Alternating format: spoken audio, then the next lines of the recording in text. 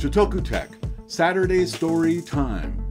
These are the stories that you might have missed while you were caught up in other stories.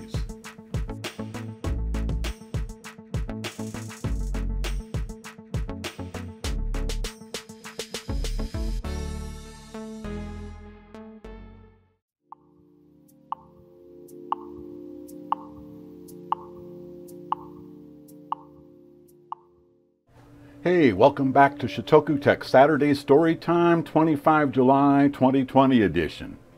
Scientists discovered this metal eating bacteria accidentally. This happened at the California Institute of Technology. Dr. Jared Leadbetter was working with manganese in a covered glass jar soaking in tap water. Well, he had to work off campus for several months.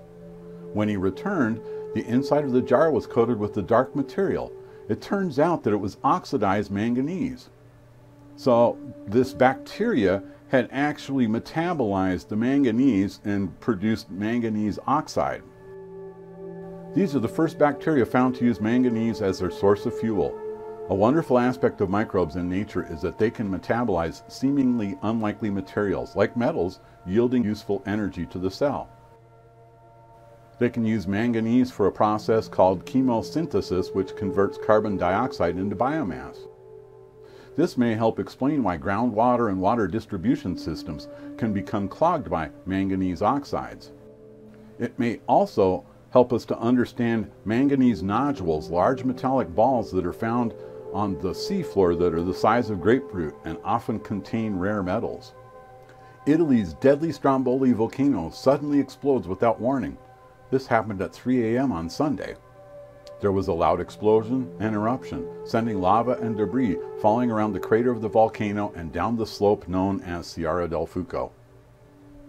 This morning's explosion was about 10 times stronger than the average size of explosions of the volcano and comparable to the very large eruption that happened on the 15th of March in 2017. But there were two other instances in 2019 that were still one order of magnitude larger. United Arab Emirates has successfully launched their Hope Mars orbiter aboard the Japanese H-2A rocket by Mitsubishi Heavy Industries. This happened on Sunday, and it's expected to arrive at Mars by February 2021 and spend about a year orbiting Mars collecting data about its atmosphere. UAE reported successful ground communications with the Mars probe and a good trajectory for its multi-month journey. So the Italian Coast Guard and biologists were working to free the sperm whale from an illegal fishing net. This happened on Sunday. Boaters reported that they saw the struggling sperm whale in that stretch of the Tyrrhenian Sea off of Italy's west coast and contacted the Coast Guard. It's particularly difficult due to the state of the agitation of this whale. It didn't allow for continual intervention. Since the beginning of the year, the Coast Guard has sequestered illegal fishing nets totaling more than 62 miles in length, or 100 kilometers. So they're stepping up their efforts to combat this illegal fishing. So this rare yellow turtle was discovered in India. Residents of Balasore first spotted the turtle. It looks more like a lemon than a turtle. They handed it over to forest officials. Wildlife experts say it's possibly an albino mutation of a common turtle. This turtle that has been rescued, its skull and body are yellow. It's truly rare. I have never seen such a turtle in my life, ever. Make sure to follow the link down below to the Blogspot article and you can see a video of this guy walking around. Dozens of active volcano sites are spotted on Venus for the first time. Several dozen active volcano sites have been identified on Venus. This was determined using the data from the European Space Agency's Venus Express mission, which ended in 2014. It provided a better understanding of the planet's interior, and then they compared this information with infrared images from NASA's Magellan mission that flew to Venus in the early 1990s. People have suggested that Venus is volcanically active before. What we've done now is map out these regions and correlate them to specific sites.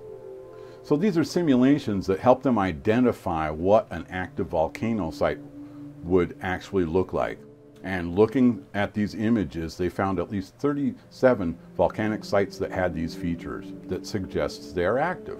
Understanding whether or not Venus is volcanically active could help us understand why the Earth is habitable and Venus is a barren, hot, and hellish wasteland. So this material called Proteus becomes the world's first manufactured non-cuttable material. It's just 15% the density of steel. It could be used for indestructible bike locks or lightweight armor. So they've named this material Proteus. It uses ceramic spheres in a cellular aluminum structure to foil angle grinders, drills, and saws.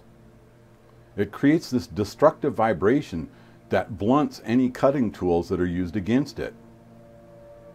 As this cutting tool starts to work through the outer layer, the embedded ceramic spheres create vibrations that blunt the tool's sharp edges and the particles of ceramic dust begin filling up the gaps, so the material actually becomes stronger and more dense as they cut it. The force of the cutting tool is actually turned back against itself, and it is weakened and destroyed by its own attack. Scientists are using brain-computer connections to restore a lost sense of touch. So these BCI, or brain-computer interfaces, are basically arrays of electrical connections that are attached to the brain's upper layer, the cortex.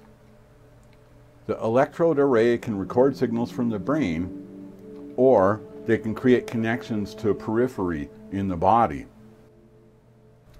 In the United States, Battelle has created a BCI system that works by gathering residual touch signals. Their system picks up the signals in the brain via an array in the motor cortex and decodes and amplifies them, then passes on the sensory feedback to a separate area on the user's body which still has a working sense of touch. So it's sort of a haptic feedback. You may not, like if you had an artificial hand, you're not going to feel it in your artificial hand, but you're going to get some haptic feedback at a part of your body that has a sense of touch. So that that artificial hand becomes more familiar to you. Users can manipulate and receive sensory feedback from robotic arms. Restoring touch can do more than just aid in movement. This can also help people that have lost limbs overcome phantom limb pain. When you begin to sense the replacement artificial limb, the brain can adjust and the pain can dissipate. So geophysicists make this mind-blowing discovery that confirms that Plato was right. The Earth is made, on the average, of cubes. We all recognize Plato as the 5th century BC philosopher. He believed the universe was made of five types of matter, earth, air, fire, water, and cosmos. I'm theorizing that cosmos is dark matter, but let's talk about Earth this time. Each of these was described as a particular geometry, a platonic shape.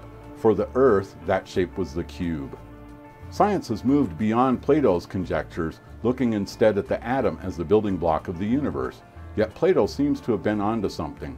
It turns out that Plato's conception about the element Earth being made up of cubes is literally the statistic average model for the real Earth. Plato is widely recognized as the first person to develop the concept of an atom the idea that matter is composed of some indivisible component at the smallest scale. But the understanding was only conceptual. Nothing about our modern understanding of atoms derives from what Plato told us. But it turns out that Plato's conception about the Earth element, the statistical average model for real Earth, is the cube.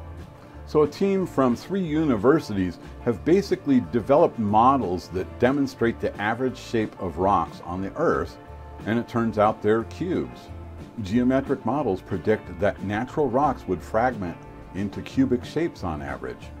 If you take a three-dimensional polyhedral shape, slice it randomly into two fragments, then slice these fragments again and again, you get a vast number of different polyhedral shapes but in an average sense, the resulting shape of the fragments is a cube. On Thursday, China launches their ambitious attempt to land a rover on Mars. This is aboard a Long March 5 rocket. The Mars rover has accurately entered the scheduled orbit. This is the second flight to depart towards Mars after UAE sent their HOPE orbiter from Japan on Monday and NASA is going to launch the Perseverance rover next week. China's mission is a tandem spacecraft with both an orbiter and a rover, and it's going to take seven months to reach Mars, like the others. The rover, Tianwen-1, will look for underground water as well as the evidence of possible ancient life. This isn't the first attempt by China to reach Mars. A Chinese orbiter accompanying a Russian mission was lost when the spacecraft failed to get out of Earth's orbit after launching from Kazakhstan and burned up in the atmosphere. Stone tools suggest earlier human presence in North America. This stone tool was found below the last glacial maximum layer from a cave in Zacatecas, central Mexico. Artifacts from the cave suggest people were living in North America much earlier than most scientists think. It's generally accepted that humans inhabited North America between 16 and 17,000 years ago, where this tool actually dates as early as 26,500 years. There's also some indication that these artifacts go back beyond 30,000 years, but the evidence isn't strong enough to make a firm claim. Okay, so you have to file this under just because you can does not mean you should.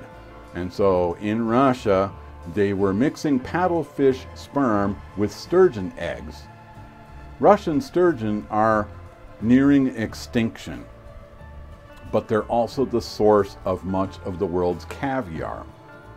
So they decided to introduce paddlefish sperm. Basically, they put the sperm next to the eggs. And so they wound up with these hybrid sturddlefish. This kind of hybrid would be impossible in the wild because the American paddlefish and the Russian sturgeon live on opposite sides of the globe. They have vastly different survival strategies and they've been evolving separately for 184 million years. Both species of fish are exceptionally rare. The American paddlefish may be the last paddlefish species left. The Chinese paddlefish went extinct between 2005 and 2010. And sturgeon as a group are critically endangered. Russian sturgeon are more rare among them. That's why the scientists were initially attempting gynogenesis to introduce the sturgeon eggs into development without fertilization as a possible way to replenish the species. Gynogenesis was successful in 2014 on the eggs of ship sturgeon, which are critically endangered using Siberian sturgeon sperm.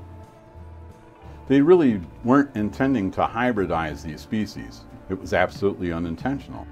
These are both fossil fish. They can grow slowly and live for decades. They have skeletons made of cartilage instead of bone. They also have skin without scales and similar intestines. They have extremely slow evolutionary rates, so maybe they're not quite as different as it seems. So these hybrids, dubbed sturddlefish, have their mother's appetite and their father's long snout.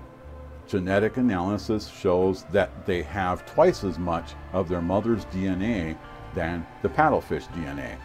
I did a double take when I saw it. I just didn't believe it. I thought, hybridization between sturgeon and paddlefish? There's no way. They suspect that they'll be sterile, they won't be able to reproduce, so it's not going to help them with caviar production. And while they're doing well in captivity, the researchers don't plan to make more of them. Thank goodness. Make sure to check for the link down below to this Blogspot page that has all of the links to these stories. And thank you for watching Shotoku Tech Saturday Storytime. Have a great week. Thank you for watching Shotoku Tech. Please subscribe, comment, like, and share.